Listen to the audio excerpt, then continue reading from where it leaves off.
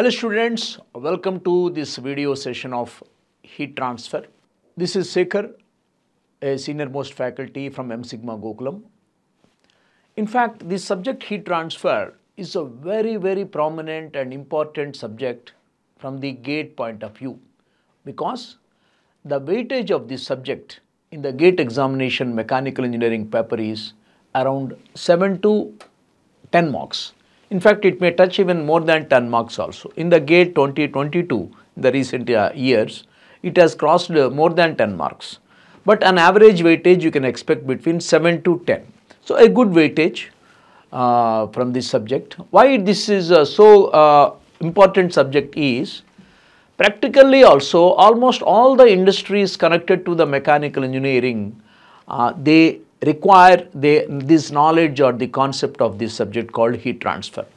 Whether you are designing any power plant component like a boiler or a condenser or even a cooling tower uh, or, uh, uh, or uh, when you are designing any automobile engine like an IC engine or whenever you are designing a gas turbine power plant component. So, the concepts of the heat transfer are very much essential or you are designing one a space uh, rocket which is uh, taking the satellite into the space. So, there also the con uh, concept of heat transfer is so important. So, the, the, the, the practical knowledge and the concepts of the heat transfer are very much essential in the mechanical engineering core subjects. Uh, and also there is another important subject called thermodynamics which is very closely related to this subject called heat transfer. Okay, so thermodynamics and heat transfer and also another subject called fluid mechanics, all three are intertwined subjects. So, if you know one subject, if you know, you will be understanding other, so, other two subjects very, very easily. So, that is the uh, interrelation among these three important subjects of mechanical engineering. One is thermodynamics, second thing is heat transfer, the third thing is fluid mechanics. Particularly in the heat transfer, there is one chapter called convection heat transfer. In that particular chapter, the knowledge of the fluid mechanics, the concepts of the fluid mechanics are very much essential in understanding that particular chapter or that particular topic called as a convection heat transfer, whether it is a forced convection or a free convection heat transfer. So, uh, come on let us uh, uh, let me start this subject very important subject called as the heat transfer. When you talk about the heat, this word heat, this word heat will be coming in two different subjects very often one is thermodynamics, another thing is heat transfer. Now, I would like to distinguish in what way this term heat is different between these two subjects. In what way it will be different in these two fundamental subjects of mechanic, eh, mechanical engineering, I would like to highlight there. So, if we just look at the thermodynamics there, in thermodynamics, heat is termed as a, a path function. Heat is termed as a path function. You know a thermodynamic path a given path initial state P1, V1, T1, final state P2, V2, T2.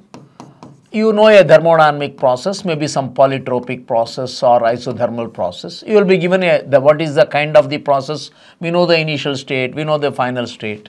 In all the thermodynamic problems, in all the thermodynamic problems, you will be interested in calculating, you will be interested in calculating how much how much heat will be required to take the state, to take the system, thermodynamic system from this initial state to this final state too.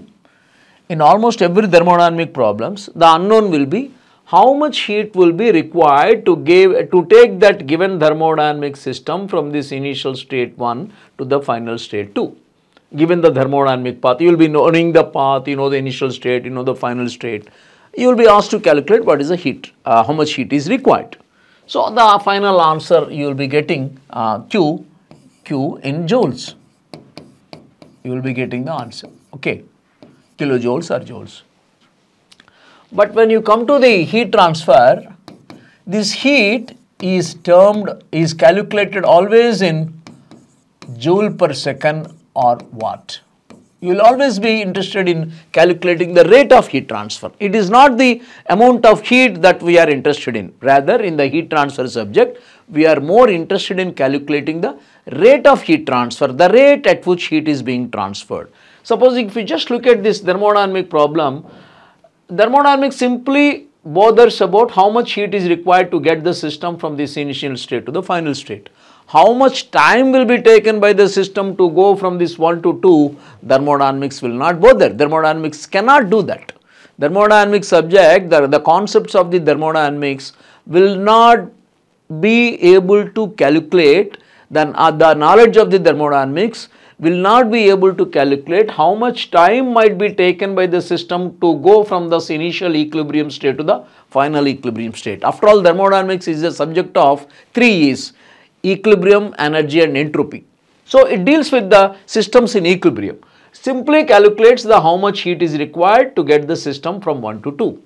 But how much time will be taken by the system to go from 1 to 2, it is out of the purview of the thermodynamic knowledge. Only the heat subject of heat transfer would be uh, able to, uh, the concepts of heat transfer would be able to help us in calculating how much time might be taken by the system to go from 1 to 2 because it deals with the rate of heat transfer. It is not simply it is not simply the amount of heat we are interested in calculating rather we are calculating the rate of heat transfer in joule per second or watt. Almost every problem, every problem uh, uh, in the heat transfer subject, the Q will be answer you will be getting in watts or joule per second or kilowatts.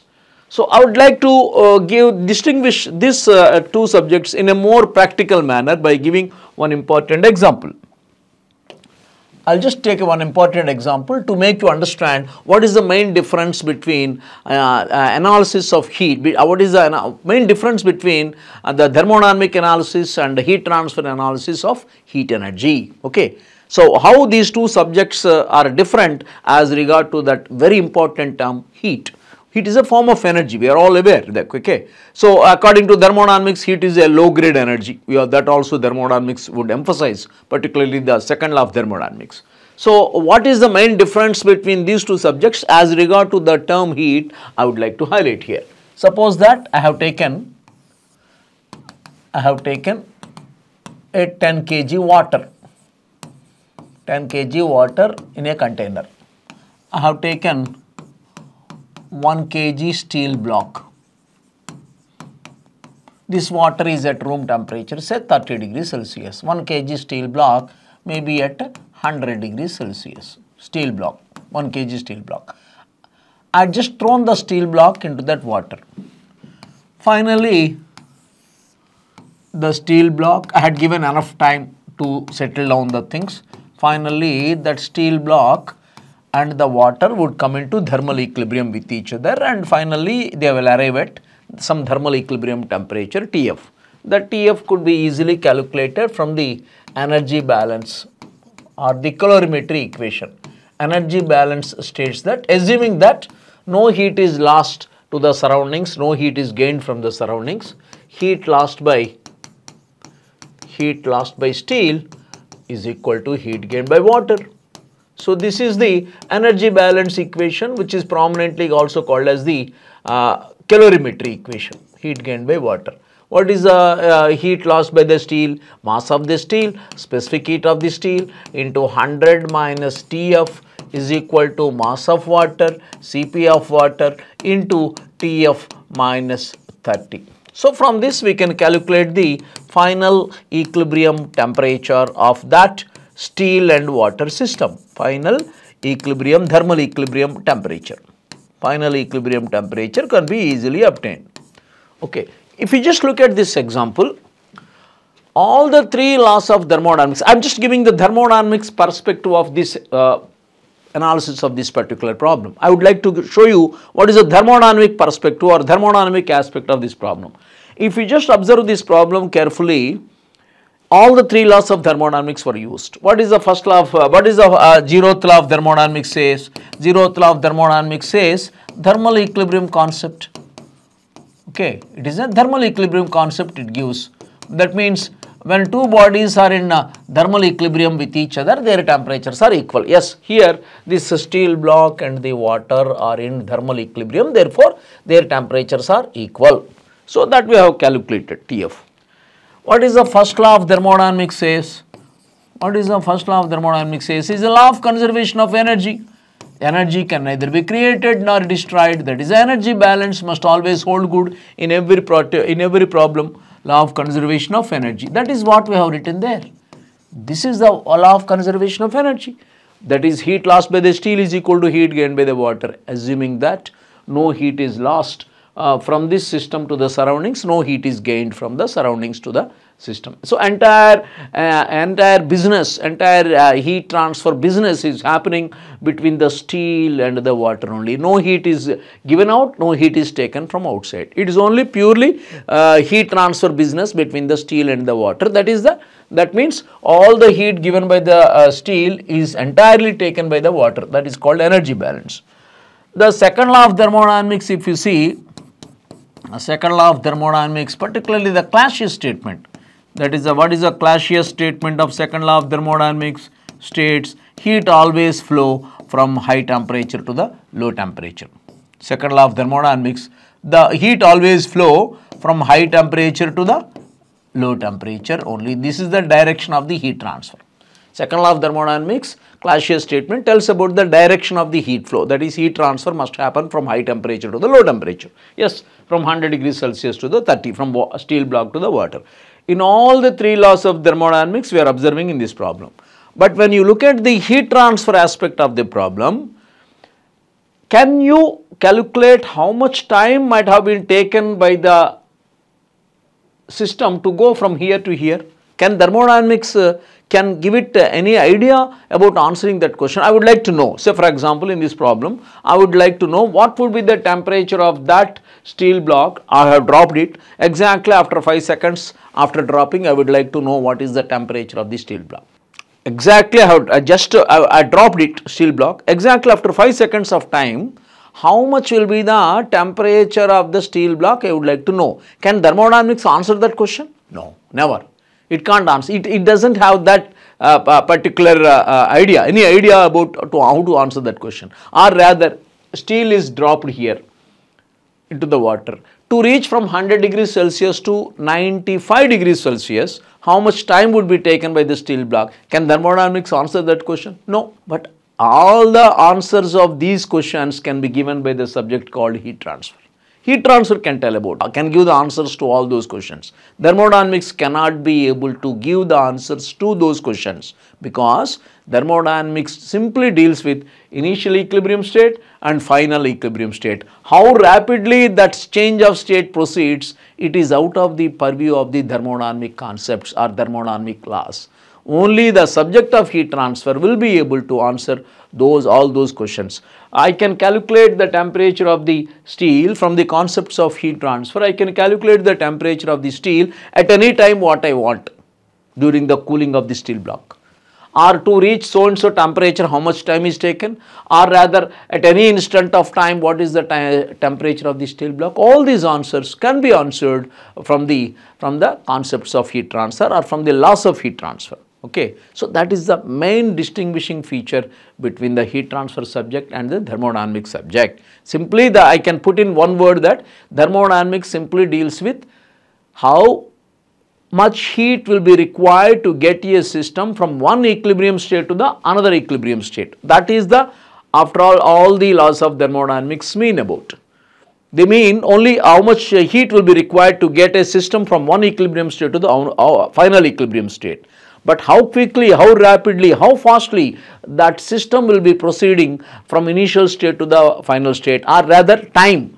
How much time will be taken by the system to go from the initial state to the final state the thermodynamics cannot answer, only heat transfer subject can be able to answer those questions. I hope you understood the main difference between these two subjects uh, called thermodynamics and heat transfer. But I can also would like to say that in every problem of thermo, uh, heat transfer, in every problem of heat transfer, whatever may be the radiation analysis or convection or conduction, uh, the energy balance is the most common equation is always applied in every problem of heat transfer, the most common equation very often we write is energy balance, which states that energy can neither be created nor destroyed in that form. Okay. So, the energy balance equation that is the first law of thermodynamics is inherently and indirectly being written in almost every problem of uh, heat transfer problem solving. Okay. Keep that point in mind. Okay. So, that, I do not say that thermodynamics is not used in heat transfer, it is being used, but in a different way it is being used. So, uh, having seen the uh, heat transfer, uh, difference between heat transfer and uh, thermodynamics, now let us understand what are the modes of heat transfer. Okay. And also I would like to highlight here that thermodynamics is something like an abstract subject. Some things uh, we assume which are not happening practically. For example, if we just look at the Carnot cycle, if we just look at the Carnot cycle, Carnot proposes a heat transfer with no temperature difference. Carnot proposes a heat transfer with no temperature difference. In the uh, there in the Carnot cycle, there are two heat transfer processes: isothermal uh, heat supply and isothermal heat rejection. In the Carnot cycle, uh, there is a reversible heat transfer happening, heat transfer without any temperature difference between the source and the working fluid. Okay. And similarly, while the heat rejection also during the Carnot cycle, heat is being rejected with no temperature difference. But can it happen practically? Never. Because any practical heat transfer which you are observing in our day-to-day -day life, always all these heat transfers would happen, would happen with a some finite temperature difference. A heat transfer can be called as a reversible heat transfer only if the temperature difference between the giver and the receiver uh, tends to 0. Such kind of a reversible heat transfer uh, Carnot has proposed in his most famous cycle having the highest thermal efficiency.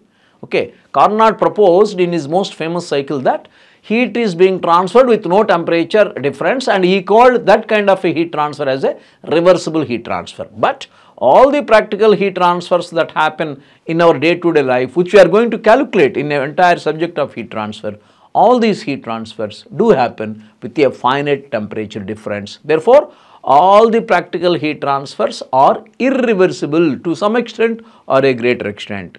So, reversible heat transfer that is heat transfer with no temperature difference is an hypothetical or ideal or imaginative process which you are proposing only in those reversible cycles called as a Carnot cycle. Okay. So, practical heat transfers definitely require a some finite temperature difference. What we are going to see later that more the temperature difference, more the temperature difference, faster the rate of heat transfer in any mode, in any mode of heat transfer, whether it is a conduction, convection or radiation, we are going to see in future that greater the temperature difference, faster the rate of heat transfer. Higher the temperature difference between the giver and the receiver, the quickness, the fastness with which the heat will flow will be greater. So, that is what we are going to see in all the modes of heat transfer. Come on, first let us understand about the what are the various modes of heat transfer. The heat transfer that is due to the temperature difference uh, that is happening. Heat transfer is a phenomenon which happens due to the temperature difference according to the Clausius statement of second law of thermodynamics. So, all the modes of heat transfer must follow that Clausius statement of second law of thermodynamics which states that heat always flow naturally spontaneously from high temperature to the low temperature. So, that would happen in three distinct modes. First mode is conduction, second mode is convection, third mode is radiation. First let us understand in detail uh, what is the mechanism of heat transfer uh, in all three distinctive modes. First let me explain about the conduction. Suppose that I have taken one metal rod, maybe aluminum rod or some steel rod. This is a metal rod. One end of the metal rod I have placed over a flame, certain source or a flame I have kept placed it. And the other end I am holding. One end is placed over a flame, the other end I am holding this. After some time, after a, little bit of time, definitely the end which I am holding, I can sense the hotness. I would not be able to hold it anymore, I have to leave that because I can't bear that hotness. So, I'm, I'm keeping one end of the metal rod on the flame, the other end I'm holding. I'm observing that after a little amount of time, I can sense the hotness at the other end. I say that heat is flowing from this high temperature to the low temperature of the rod by conduction mode. Heat, I say that heat is said to be conducting. Heat is said to be conducting through this metal rod between from the high temperature end to the low temperature end. And how does it happen? This happens like this. Unlike uh, fluids, entire matter can be broadly divided into two parts. One is solids and other is fluids. Fluids means liquids, gases, vapors all come under that category. Liquids, gases and vapors all are fluids. Unlike fluids, in solids, the molecules whatever that are present in the solid, they do not have any kind of a freedom to move from one location to the another location because they are rigidly fixed to their positions. Unlike the fluids, in solids the molecules of the matter of the solid matter do not have any kind of a freedom to leave their place uh, to they leave their places and they are rigidly fixed to their places okay they don't have any kind of um, uh, freedom to go from one location to the another location within the solid mass. But they have one kind of a freedom. Even though they cannot leave that place, if, they, if the molecules are excited thermally due to the temperature increase, they could vibrate vigorously. Staying at there only, they would begin to vibrate vigorously uh, with some good frequency about that position, they keep vibrating. So, these molecules which are rigidly fixed here, they can't leave that. Once these molecules which are in the, uh, which are near the high temperature source of heat called flame, once they, these molecules receive that heat, they begin to vibrate vigorously with greater and greater amplitude and frequency. They just begin to vibrate like this. Without leaving that, molecules do not get displaced from that position. Molecules stay there, stay there only, but staying there, they keep vibrating vigorously about that position. While vibrating, they could transfer that, that vibrational energy to the neighboring molecules. As these molecules keep vibrating, that could in turn make the next molecule to vibrate vigorously. That, that vibrational energy can be transferred to the next molecule, that begins to vibrate. So, that, like that as such. So, the molecular vibrational energy is being transferred from one molecule to the another molecule and this is contributing to the 30 percent of the total heat conducted. When they get vibrated, I say that I say that the temperature, that particular molecule has got more temperature. So, okay, so this keeps vibrating because it receives the heat, it keeps vibrating. While vibrating, that gives the vibrational energy to the next molecule. That in turn gives that vibrational energy to the next molecule. So, from molecule to molecule, there is a transfer of vibrational energy that is contributing to the 30 percent of conduction 30 percent of conduction of course through this metal rod by molecular lattice vibrational energy transfer. Molecular lattice vibrational energy transfer. And how do the remaining 70 percent of conduction do happen? It kind of happens like this. Molecules have got the atoms, atoms have the, we know that atomic structure, the concepts of atomic structure are very well aware of. We have the centrally placed positively charged nucleus, we have the free electrons in the outermost orbits. We have the free electrons in the outermost orbits. Fortunately, metallic materials like we have a, um, these metals uh, are placed on the left hand side of the Mendeleev's uh, periodic table. In the chemistry you must have seen that periodic table. Uh, generally all these metals are placed on the left hand side. In the metallic materials, maybe steel or aluminum or copper etc. In these metallic materials, you will see a plenty of free electrons. Free electrons or valence electrons also we can say free electrons or valence electrons which are present in the outermost orbits. There are plenty of free electrons are there. These free electrons or valence electrons, they receive that heat energy from the source. Is, there is a source of heat. Flame is a source of heat. Okay.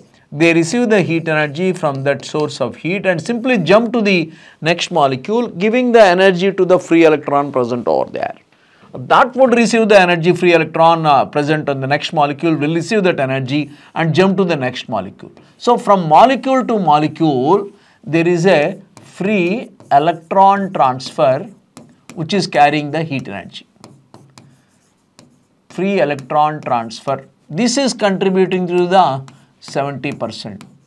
70 percent due to free electron transfer from molecule to the molecule. See, these uh, molecule free electrons present in the outermost orbits of the atoms present in the molecules nearer to the source of heat, they receive the heat energy and simply leave that atom and jump to the next, uh, next molecule giving that energy to the free electron present in the outermost orbit of the next molecule or outermost orbit of the atom contained in the next molecule and that would receive the heat energy and jump to the next molecule. So, from uh, molecule to molecule the free electrons keep jumping and carrying the heat energy. So, 70 percent of the total heat conduction will be contributed by this free electron transfer or valence electron transfer and the 30 percent of the heat energy is contributed by the molecular lattice vibrational energy transfer. Mind that this 70 30 percent uh, this breakup is pertaining to the only the metallic materials. This is not a general one. This is this is a met for metallic rods. Uh, this 70 30 uh, ratio uh, we can approximate. 30 percent contributed by the molecular lattice vibrational energy transfer because there is a certain lattice structural uh, arrangement will be there in every material. That lattice how that arrangement will be there will be different from material to material. You will be seeing that in the material science also. So, there the, the kind of the lattice molecular structural arrangement will be different from material to material, how closely the molecules are arranged etc. So, uh, uh, this 70 percent 30 percent contribution of the uh, conduction by the free electron transfer and uh, by the uh, molecular lattice vibrational energy transfer is, uh, is pertaining to the metallic materials. Okay. So, uh, uh, um, uh, the, the uh, that is the reason why metals are very very good conductors of heat because they do have this plenty of free electrons. Metals, metallic uh, metals are the best conductors of heat. Very good. That is why in all the kitchenware, uh, in, in the heat exchanger pipes and the boiler tubes, why we make them with the metallic materials because we want to have a rapid heat transfer. In the kitchenware also, in our kitchen also we will be using all the utensils made of metals. In the cookers they are made of, made of metals. All the kitchenware they are made up of the metallic materials only because metals are the very good conductors of heat. The reason is they have a plenty of free or free or valence electrons, free or valence electrons which are the electrons available in the outermost orbits. This is the reason why metals are the good conductors of electricity also this commonality of conduction of heat and conduction of uh, electric current is because of the free electrons prevailing in the outermost orbits of the metals. Metals are good conductors of electricity and good conductors of heat energy. So, this common feature is because of this abundant free electrons present in the outermost orbits. But when you come to this heat conduction, what is the best metallic uh, uh, conductors in the order of, uh, in the order I am putting? the best known metals is silver highest conductivity thermal conductivity is 410 watt per meter kelvin second comes is copper 385 watt per meter kelvin silver is a very costly thing which we cannot think of using so that is only a theoretical purpose Copper, uh, you, you, use it. Copper is also costly, but we will use it in many heat transfer applications. Copper fins we employ in many uh, equipment. We attach the copper fins to increase the heat transfer rate. Then comes the aluminium. Aluminium is even more prominent because of its lightness, low density. Then comes the steels. There are varieties of steels are there. So, the K will may vary between 14 to around 35 watt per meter Kelvin. The based on the percentage of the carbon, the conductivity of the steel may vary. So, the, all these are metals possessing very good thermal conductivity because of the plenty of the free electrons. But general rule is steel is an alloy, they are pure metals, but steel is an alloy. A general rule is that conductivity of the pure metal K is the thermal conductivity.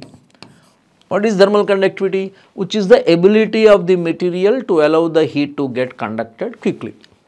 If the material has got more conductivity, it will allow the heat to get conducted easily through the material. Conduction could happen rapidly. It is very simple. In a cold uh, winter, peak winter, if you just touch the any metallic body, any metallic body like a window uh, frame or whatever it is, uh, you will feel chillness or a metallic uh, handle or whatever it is, you feel chillness. But when you touch the any wooden body in the peak winter, you don't feel that. Supposing a wooden body is there, you touch it, you don't feel anything, you don't feel chillness. Where if you touch the metallic body, you feel the chillness. The reason is both the wooden bar and the metallic body, they are at the same temperature. Your body is warm, your body can sense the hotness and coldness. So, if you touch the metallic bar, the heat, heat could flow rapidly from your body into the metallic bar. But when you touch the wooden body, wood is a bad conductor of heat. You don't feel, uh, heat will not conduct that rapidly as you see in case of the metal. So, you don't feel any chillness.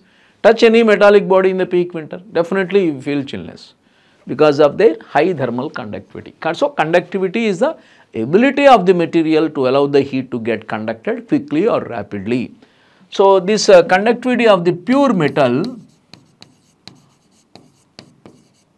is definitely greater than the conductivity of its alloy.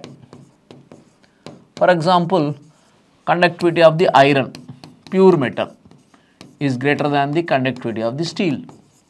Conductivity of the copper is greater than conductivity of brass or bronze Brass or bronze Brass or the bronze are the uh, alloys of the copper. The reason is alloy means what? Some foreign material will be there. That will be acting as an impurity thereby the conductivity will be slightly gets res, uh, reduced. Supposing if you look at the iron there, iron conductivity will be around 45 or 50, but steel may be having 35 only, slightly lesser than the alloy. Somebody will ask me, where is the gold position? Gold is a precious metal. Uh, conductivity of the gold will be 319 watt per meter Kelvin. Gold is also of course yellow metal, it is also metallic uh, material. So, these are all the uh, things which are uh, possessing good conductivity because metals are the metals are supposed to have a good conductivity because of this this particular uh, abundant uh, free electrons present in their outermost orbits of the atoms. So, having seen this now I would like to the, uh, the actual definition of the conduction. Having understood the definition, having understood the mechanism of the conduction, now I would like to define what is the conduction. Conduction is the mode of heat transfer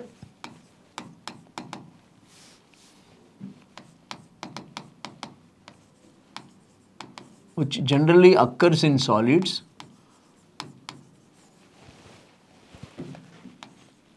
Don't think that uh, it will not occur in uh, fluids, it will occur but in our problematic sense, in our heat transfer, uh, in the gate preparation sense or gate problem sense, generally when you talk about a conduction, a, a metallic, a metallic slab or a wooden slab uh, or any pipe material would be possessing uh, conductivity through that uh, solid material conduction is supposed to be happening. But Fluids also possess the conductivity. I will tell the later how the conduction happens in the fluids. First let me define what is a conduction means. Conduction is the mode of heat transfer which generally occurs in solids due to temperature difference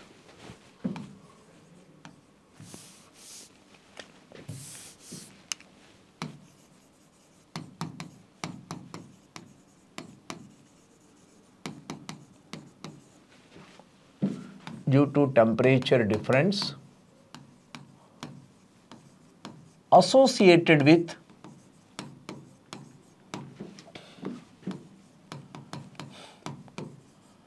molecular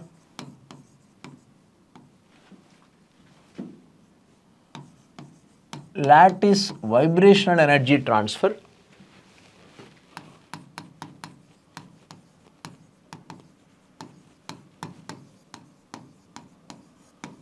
associated with molecular lattice vibrational energy transfer and also by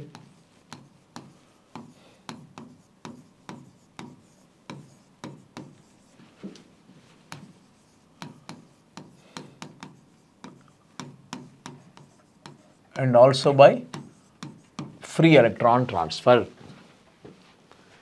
So, this particular uh, mechanism uh, which you are, you are expecting to be happening in the solid materials, this kind of a mechanism of conduction you will be expecting like molecules keep vibrating and transferring and uh, there will be a transfer of the free electrons from atom to atom. This kind of a mechanism of conduction you would be expecting to see generally in the solid materials.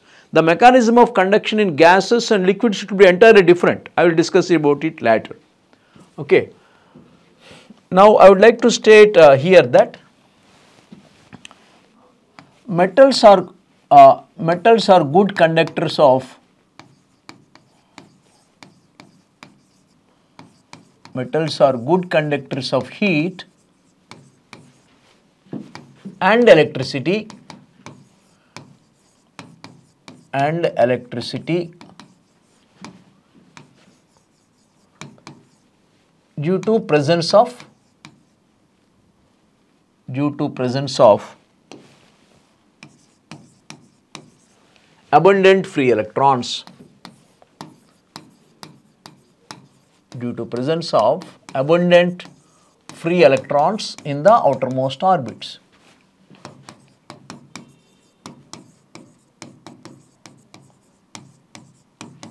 in the outermost orbits of atoms contained in the molecules. Okay. This commonality, we can say all generally uh, all electrically good conductors are generally a good conductors of heat because of this uh, presence of the free electrons. Best example is metals, but there will be a notable exception is there. All the, generally all electric conductors are also that is one, one general statement you can give that all electrically good conductors are also good heat conductors because of the presence of the abundant free electrons. But there is a, one important notable exception, notable exception is that notable exception is diamond whose thermal conductivity is 2300 which is a non-metal which is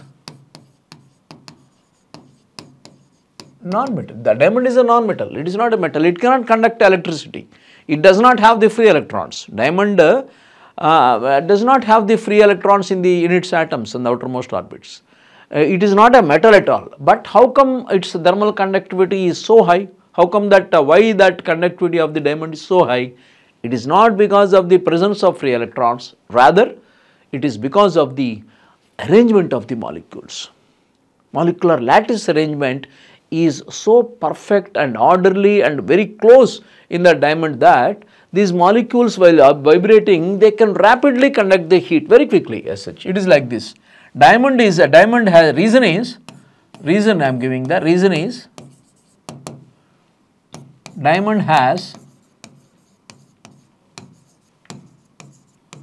perfect crystalline crystalline, perfect crystalline molecular lattice structure. Crystalline molecular lattice structure arrangement of atoms.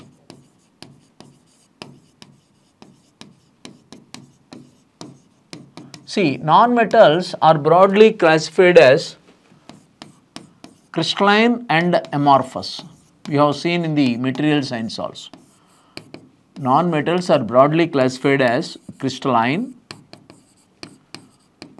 and amorphous. In the crystalline materials, you will observe that the arrangement is perfectly ordered, very close like this. Molecules are arranged like a very closely, closely they are placed, orderly they are placed, not close, not only closely, but very orderly manner you will see that kind of arrangement of the molecules. Okay, so when it is given a, when the heat is being conducted, when heat is being conducted, when the, this molecule is vibrating, that vibrational energy can be very quickly and ra rapidly can be transported or transmitted through the next molecules because the arrangement of the molecules is such that if the one molecule is getting the heat energy, that vibrational energy can be rapidly given to the next molecule because of the proximity, because of the closeness, because of the arrangement, perfect arrangement, the molecules could easily exchange that vibrational energy very rapidly and quickly. This is the reason why diamond has got highest thermal conductivity. Look at this, uh, 2300 even far higher than those of the metals. So, the highest conductivity of diamond can be attributed to its perfect crystalline lattice structure. Okay. But whereas when you look at the examples I am giving here, few examples are not only diamond, one is diamond, second thing is quartz, quartz is also a, third thing is graphite. All these are uh, uh, crystalline materials, therefore, hence they are possessing even more conductivity than the metals. They, though there is a non-metal, they are possessing more thermal conductivity than the metals even though they are not having any free electrons. There is no free electrons in the outermost orbits. They cannot conduct electricity but they can conduct uh, heat even more rapidly than the metals because of this perfect, uh, perfect crystalline arrangement of the molecules. In the amorphous materials how do you see? If you just look at the amorphous materials, molecules are arranged in a random manner and there will be voids also, there will be gaps, there will be voids. Best example is glass, glass is amorphous. Its thermal conductivity is only 1 point, uh, thermal conductivity of glass is only 1.2 because uh, because of the there will be voids there. Though the mo molecules are receiving the energy by vibration they cannot uh, transmit effectively that energy to the next molecule. So, we understood that uh, in that conductivity scale the thermal conductivity scale highest conductivities are possessed by crystalline materials like diamond, quartz and also by the metals. One extreme we are saying the thermal conductivity. The other extreme if you see there will be more important materials which are called as a very bad conductors of heat known as insulators. They are more important than the uh, conductors because why insulators are more important practically the reason is whenever you want to prevent whenever you want to stop the heat flow want to reduce the heat flow will, we are going to use the insulators. Whenever you want to enhance the heat transfer increase the heat transfer rate you want to have a rapid heat transfer rate you will be using the conductors like the metals, like the metals, right? And uh, for your information, diamond also is used, diamond is a very precious metal, but still it is used as a uh, um, uh, fin material or a diamond sinks will be there in the some electronic devices, a tiny diamond sinks, heat sinks they call, they may be used in the very important electronic devices to rapidly dissipate the heat because of its high thermal conductivity. For information, uh, fin, any fin uh, material must have a high thermal conductivity. That is why aluminum or copper fins are generally used. Very occasionally, very rarely, even diamond fins also you may have to incorporate to increase the heat transfer rate. Fine, okay. So, whenever you want to enhance the or increase the heat transfer rate, we are using the uh, good conductors on, on that scale and the conductivity scale I am telling. Good condu conductors are in extreme side metals and crystalline materials. On the other side we have the insulators. Okay. Glass can be taken as a, a, a semi-insulator only because of its low conductivity. Look at this one, it is only one point. So, what is what is this K? I will I am going to define K there. First of all, definition of the K, I will give it. What is the name of that K? Thermal conductivity.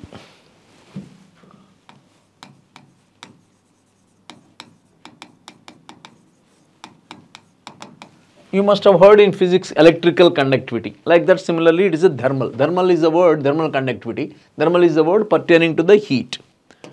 Okay. It is the property of the material. It is a property, thermophysical property. It is the thermophysical property of material.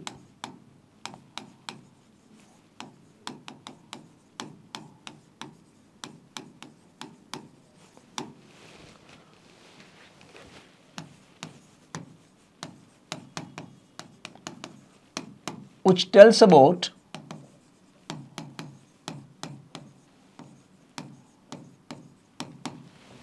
the ability of the material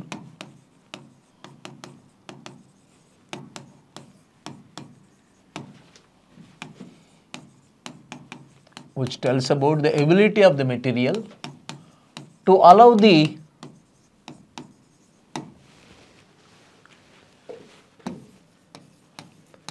heat energy to get conducted through material.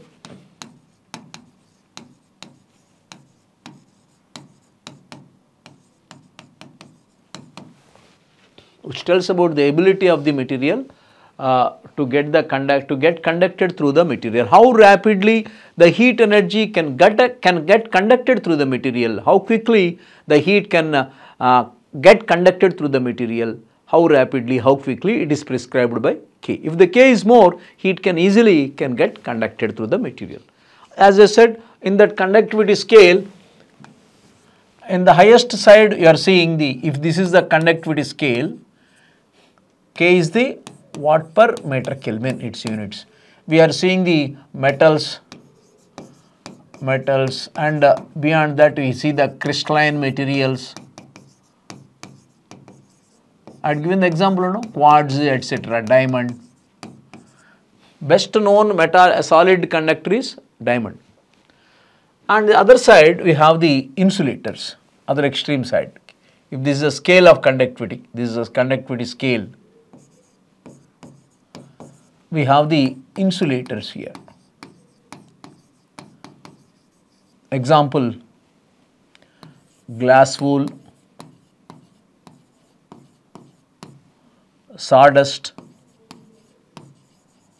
wood, wood also you can say, asbestos, refractory brick,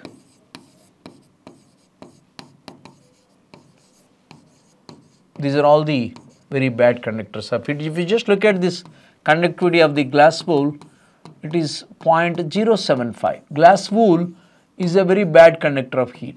Asbestos, thermal conductivity, conductivity of the glass wool I am talking.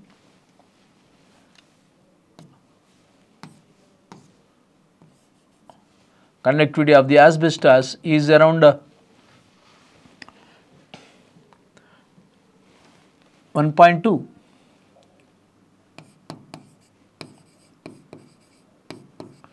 refractory brick.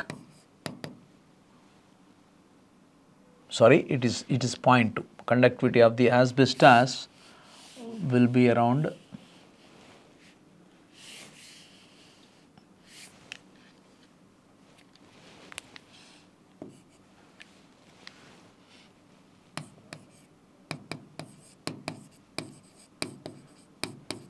refractory brick is 0.9 and polyurethane foam. There are specially made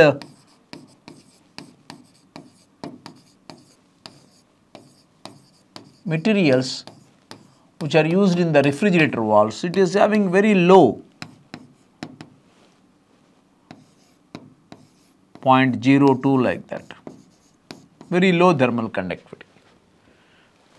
In particular, this is used in the refrigerator walls. This is used in uh, refrigerator walls.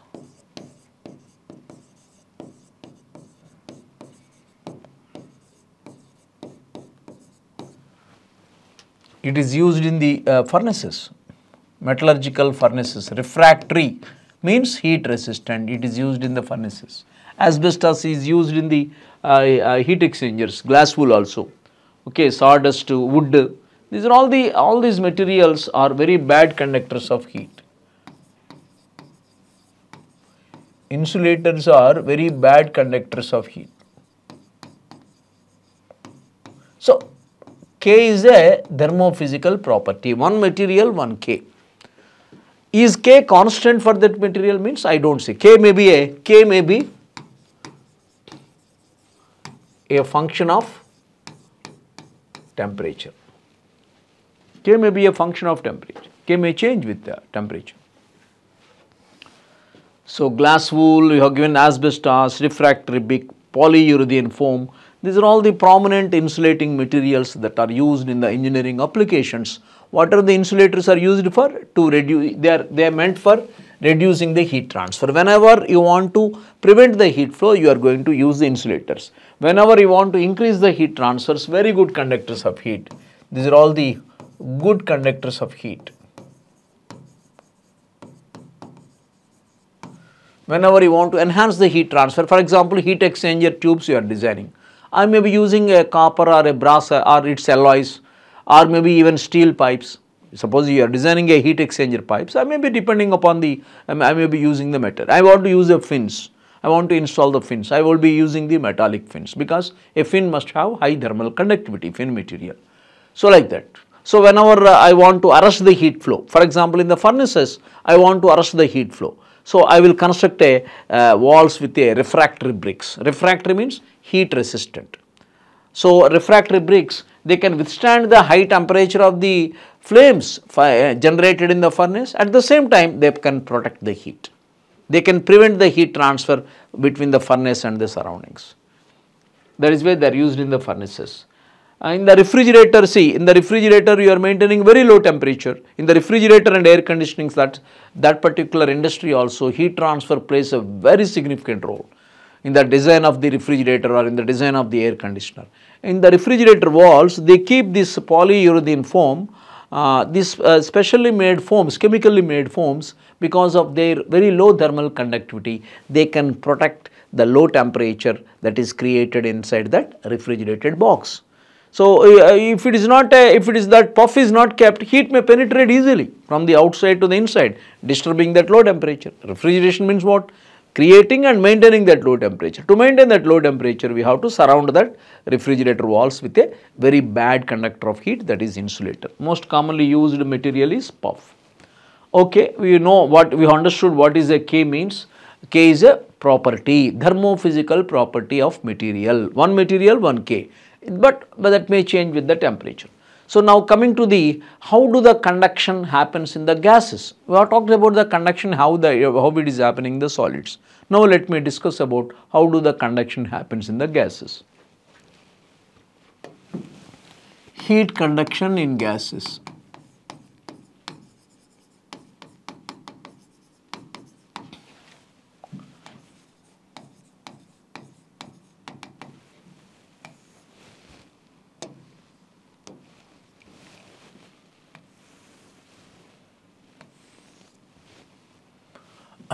Suppose that there is air. This is a high temperature plate. This is the low temperature plate. Gap may be the gap between the two plates may be even 1 mm, very small gap. Though the gap is uh, very small, even though the gap is very very small, in that gap the outside air may go into that gap and may get entrapped. There is a high temperature plate, low temperature plate, parallel plates are kept, uh, but the ga gap between them is too small, maybe 1 mm or even less than that. Even though gap is very small, the outside air may enter into that gap and it may become stagnant because it does not have any space to move. It becomes a stag, I can say that air has become stagnant Stagnant means what? Stationary. That air has become stagnant. Though the air is stagnant, it does not have any velocity, there is no chance for the any motion of that air. That little volume of air may contain enormous millions of molecules. By looking at the Avogadro's number, we know the Avogadro's number. Well, just by looking at that 6.029 and 10 power 23, you have uh, learned in chemistry also. Just by seeing that number, you can you can think that even though the volume of the air entrapped is very very small, the number of molecules contained in that volume is enormous. And those molecules will not be static, they keep moving.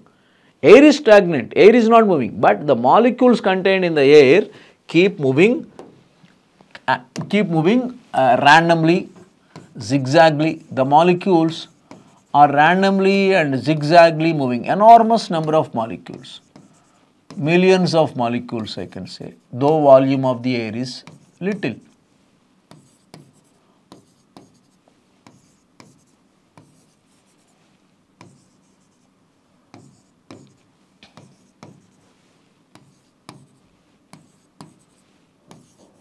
and these molecules while uh, uh, while while moving they keep colliding among themselves and the collisions are perfectly elastic the molecules they are they are uh, moving randomly zigzagly but they keep colliding among themselves and the collisions are perfectly elastic and during that collision they may exchange the momentum okay so the molecules are randomly moving, zigzagly moving in that available little volume. These molecules which are in the presence, which are in the vicinity, say for example all these molecules which are in the vicinity of the high temperature plate, because of their proximity with the high temperature plate, they are close to the high temperature plate, they are having high temperature high velocity molecules. Their temperature is more, as a result the velocity is also more.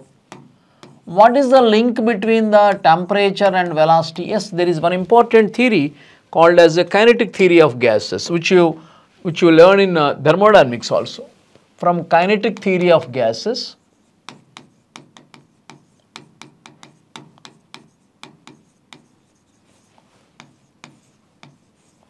we know that the RMS velocity of the gas molecule is directly proportional to the square root of the temperature of the gas.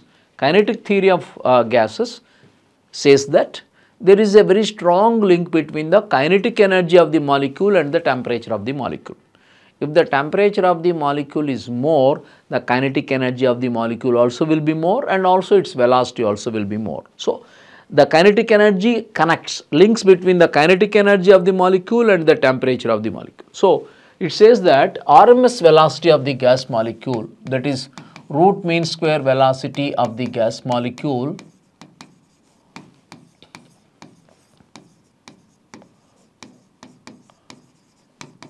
is directly proportional to the temperature of the gas. Okay. So, these molecules are having uh, more uh, temperature and more velocity because these molecules are close to the high temperature plate they must be having more greater velocity and greater temperature and similarly these molecules these molecules here they are having low temperature because they are close to the low temperature plate low temperature low velocity molecules but the molecules are not stagnant, they keep moving. Molecules keep moving.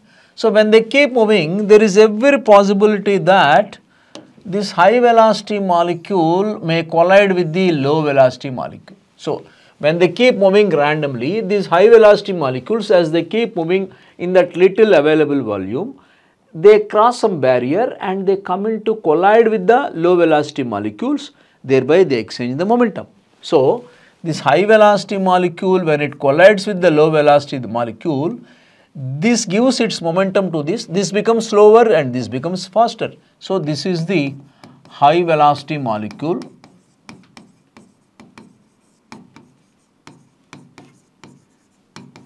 This is the low velocity molecule. So, when this high velocity molecule collides with this low velocity molecule, there, there is a transfer of momentum from this high velocity molecule to this. There is a molecular momentum transfer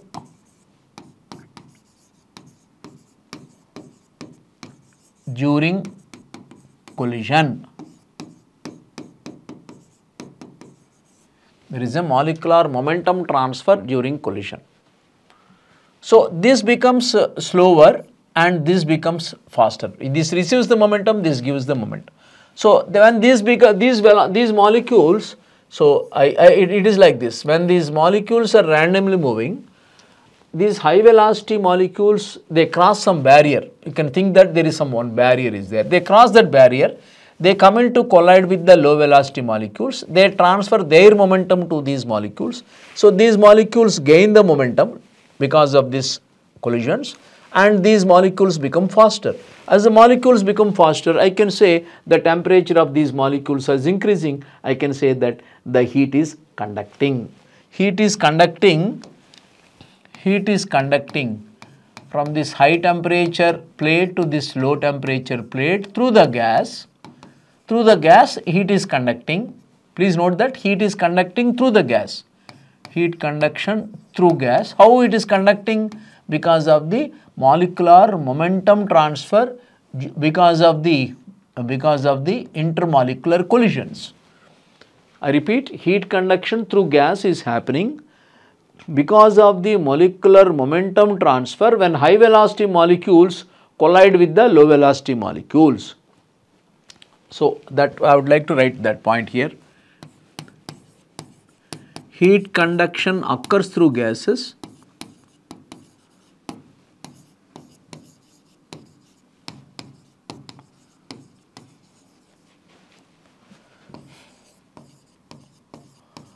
by molecular momentum transfer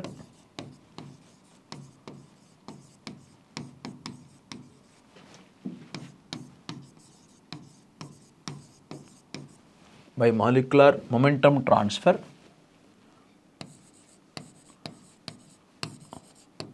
when high velocity molecules when high velocity high temperature high velocity means obviously temperature also will be more when high velocity high temperature molecules collide with the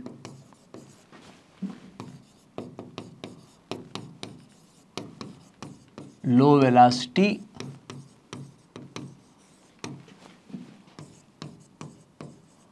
low temperature molecules.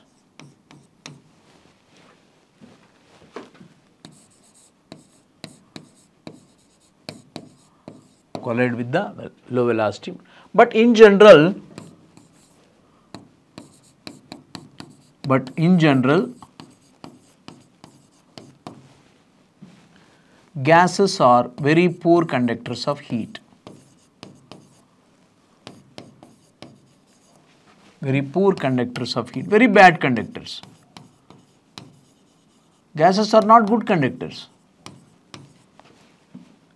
I will just give the example. For example, conductivity of the thermal conductivity. What is that property which tells about the ability of the medium to conduct?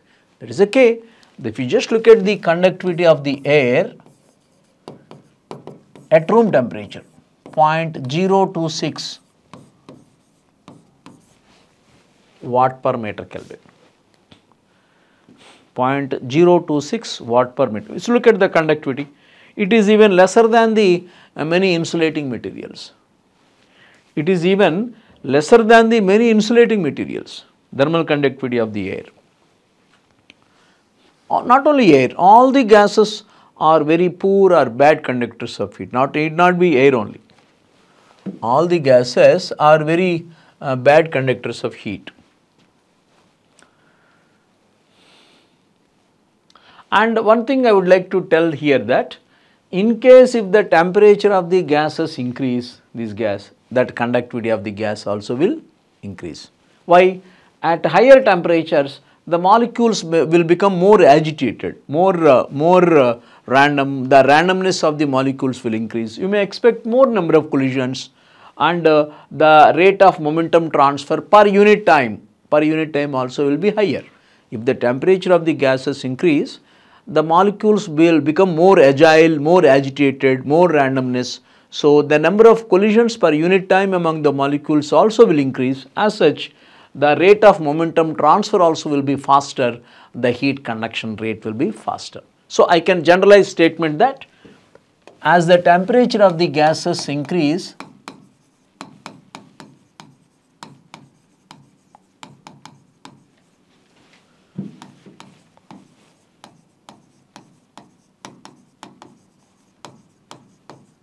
their thermal conductivity also increase.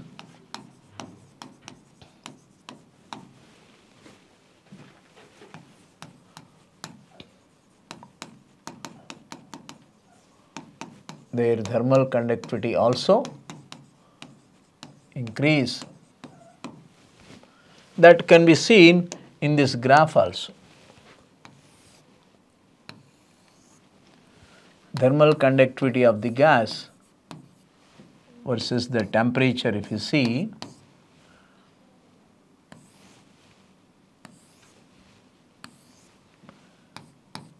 this is hydrogen gas, helium, air, all these gases you are observing that as the temperature of the gases increase, their thermal conductivity is also increasing. We may also notice one important that at any given temperature, the lighter gases, the lighter gases would have more, more conductivity. Also, at any given temperature,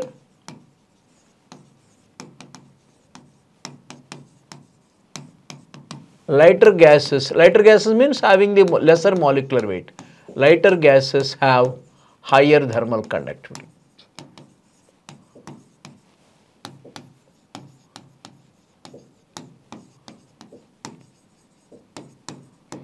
Have higher thermal conductivity. So, but uh, so as far as regard to the uh, conduction through gases are concerned, you should remember that gases are very bad conductors of heat number 1. Number 2, as the temperature of the gases increase, their conductivity also will increase just like viscosity. You can remember by, you are going to see in fluid mechanics also that in fluid mechanics also you are going to see that as the temperature of the gases increase, the kinematic viscosity of the gases also will increase. You just remember the kinematic viscosity, same response you see for the conductivity also. You can generalize like that as temperature of the gas increase, I can say kinematic viscosity Kv, symbol is nu, increases, thermal conductivity K increases, specific heat of the gas increase, but density of the gas will decrease. You can remember that as the temperature of the gases increase. What is the kV? Kinematic viscosity. This is thermal conductivity. This is the specific heat. These are the density. Standard symbols because these properties throughout the chapter they keep we keep using the same standard sim notation.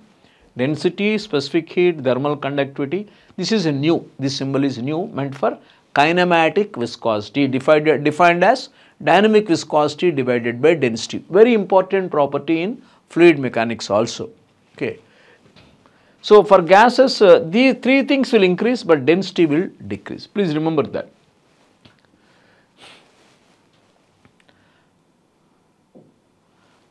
Okay. Now, we have seen uh, that uh, conductivity in gases, but the mechanism of the conduction in liquids will be entirely different, but liquids are better conductors of heat than gases. Liquids are better conductors of heat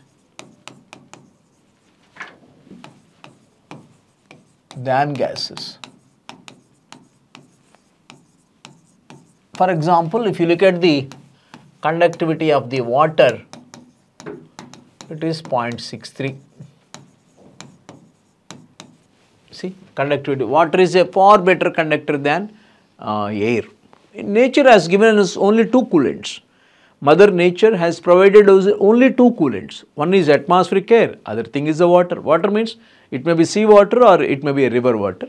But approximately you can remember the conductivity of water as 0.6. Okay. Among liquids, mercury has the highest thermal conductivity. Mercury Hg has highest K. That is why it is also conductivity of the mercury. See, that is why mercury is called liquid metal. That is why mercury is known as liquid metals. It is a thermometric fluid. Mercury Hg is why it is a thermometric fluid? because of one reason is one, one reason is its thermal conductivity. Mercury has the highest uh, thermal conductivity that is the reason why it is used in the thermometers also for temperature measurement. Of course, other reasons also there low vapor pressure, good volume expansion, thermal expansion now volumetric expansion is more for the liquid.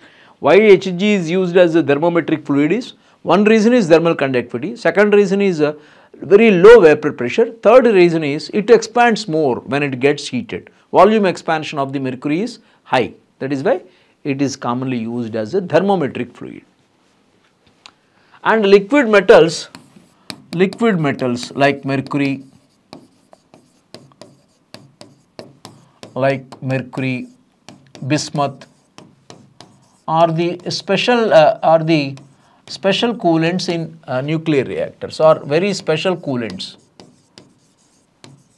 special cooling media